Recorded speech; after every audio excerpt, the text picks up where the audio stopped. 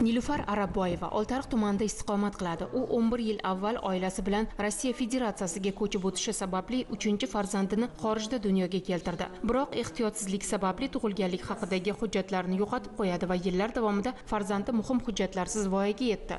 Joriy yilda mahalla faollarining maslahati bilan nilufar araboyeva oltiariq tumani fhdiyo bo'limiga murojaat qilib xalqaro minsk konvensiyasi bo'yicha farzandining tug'ilganligi haqidagi guvohnomasini olishga muvaffaq bo'ldi. Oltiariq tumani fhdiyo bo'limiga murojaat qildim fhdiyo bo'limi o'zlari shug'ullanib menga o'zlari dokument qilib olib berishdi. Qizimga men rossiya territoriyasiga bormadim. Metrga olganimdan keyin qizimni oltinchi bolalar bog'chasiga joyladim. Dokumenti borligi uchun hozir bog'chada ta'lim olyapti xudo xohlasa sentyabrdan birinchi sinfga o'qishga kiradi. 1993 yil 22 yanvarda minsk konvensiyasi fuqarolik oilaviy va jinoyat ishlari bo'yicha huquqiy yordam hamda huquqiy munosabatlar to'g'risidagi xalqaro muhim hujjat sifatida imzolangan. Mdh davlatlari tarkibiga kiruvchi davlatlar mazkur konvensiyaga a'zo. Konvensiya bayonnomasi esa 1997 yil 28 mart kuni respublikamizda ratifikatsiya qilingan. Fhdiyo yo'nalishi bo'yicha dalolatnoma yozuvlari asosida takroriy guvohnomalar olish va yuborish mazkur dalolatnoma yozuvlari bo'yicha fuqarolarning murojaatlari yuzasidan ma'lumotnomalar olishda minsk konvensiyasi a'zo davlatlarda tug'ilgan bolalarning tug'ilishi qayd etilgani yoki qayd etilmaganligi to'g'risidagi ma'lumotnomalarni tegishli fhdiyo organlaridan va tibbiyot birlashmalaridan olishda so'rovlar yuborish hamda so'rovlarga javob berish tartibida amalga oshiriladi. Adliya vazirligining minsk konvensiyasi doirasidagi vazifalaridan biri fuqarolik holatida dalolatnomalar to'g'risidagi ma'lumotlarni e, so'rab olish hamda taqdim etish hisoblanadi. E, masalan e, o'zbekiston respublikasida tug'ilishi qayd etilgan fuqaro boshqa chet el mdh davlatlaridan birida istiqomat qilayotgan bo'lsa shu tug'ilish haqidagi ma'lumotnomani olish uchun o'zbekistonga kelib ketish kerak emas o'sha davlatdagi fqd organiga murojaat qiladi hamda ma'lumotni olish uchun o'sha fhd organi o'zbekistonga so'rov yuboradi bu so'rovni ko'rib chiqib e, o'sha tug'ilish qayd etilgan bo'lsa qayd etilganlik to'g'risidagi ma'lumotni u davlatga yuboradi. Buni hisobiga ovoragarchiliklari hamda arz saflashlari oldi olinadi. Joriy yilning o'tgan davri mobaynida farg'ona viloyati adliya boshqarmasi tomonidan to'rt yuzdan ortiq shu minsk komissiyasi doirasidagi so'rovlarga javob berilgan. Faqdiya organlarida so'nggi yillarda ko'plab islohotlar amalga oshirildi. Jumladan nikohni qayd etish uchun faqatgina bevosita ariza berilar edi. Hozirgi kunga kelib bu jarayon ham yagona interaktiv davlat xizmatlari portali orqali amalga oshiriladi. Boshqacha aytganda fuqaro dunyoning istalgan nuqtasidan turib portal orqali onlayn ariza yuborish imkoniyati paydo bo'ldi.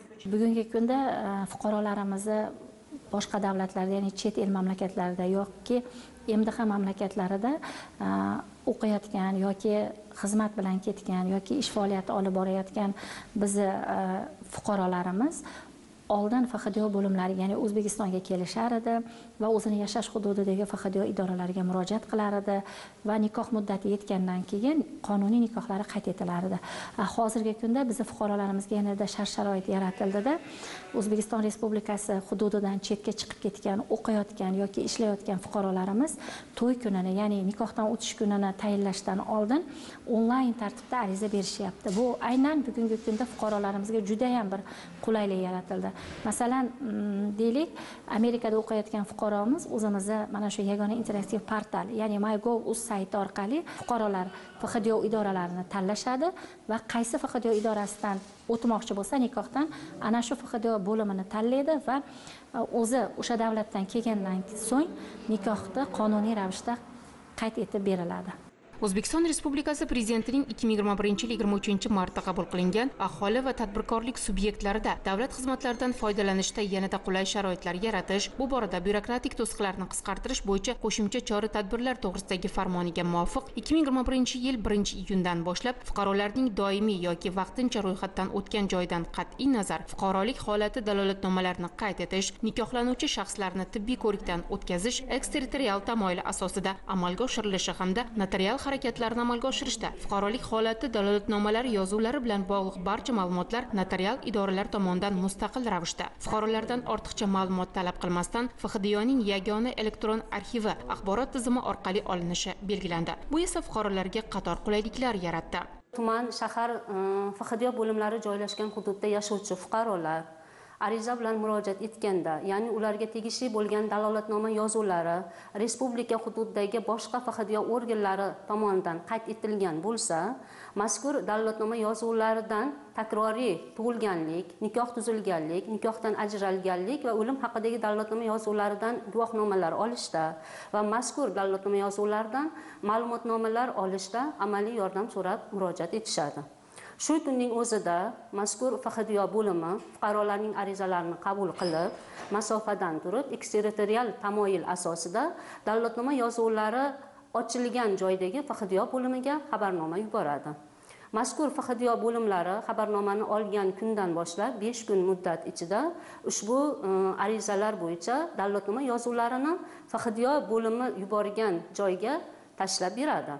Va fuqaro yashab turgan fhdo bo'limi orqali o'sha o'zlariga tegishli bo'lgan dalolatnoma yozuvlaridan takroriy guvohnomalar ma'lumotnomalar va boshqa e, hujjatlarni olib beriladi. O'zbekiston tumanida istiqomat qiluvchi abduvohid mirzayev meros masalalari yuzasidan notariusga murojaat qildi. Biroq uzoq yillardan buyon e'tibor berilmagan. Tug'ilganlik haqidagi guvohnomasidagi xatoliklar unga bir qancha muammolarni olib keldi. Eksterritorial tamoyili asosida beshariq tumani fhdo bo'limida uning bu muammolariga oson yechim topildi. Fhdo sohasida ko'plab zamonaviy tamoyillar va imkoniyatlar fuqarolar uchun taqdim etilmoqda. 2020 yildan boshlab tug'ilish va 2022 yildan o'lim bilan bog'liq barcha davlat xizmatlari umumlashtirilib kompozit xizmat ko'rsatish yo'lga qo'yildi. Kompozit xizmat nima degani? Bunda fuqaro bitta ariza berish evaziga bir nechta xizmatdan birdaniga foydalanadi. Masalan birgina ariza yuborish orqali 6 ta xizmatdan foydalanish mumkin. Kompozit davlat xizmatlari ko'rsatilishining yo'lga qo'yilishi bilan 15 dan ortiq hujjat qisqarib 4 ta idoraga borishga fuqarolarning eshikma eshik sarson yurishlariga barham berildi. Bu esa toshkentda yashayotgan viloyatliklarga o'nga yaqin hujjatlarni poytaxtning o'zida olish imkonini ham berdi. Xulosa o'rinda aytish mumkinki fhdo tizimida samarali elektron tizim yaratilgani fuqarolarning yugur yugurlariga barham berdi. Aholini sarson qiladigan keraksiz qog'ozbozliklar kamaydi. Vaqt tejalishiga sharoit yaratildi. Bir so'z bilan aytganda islohotlar inson omili uchun xizmat qilmoqda.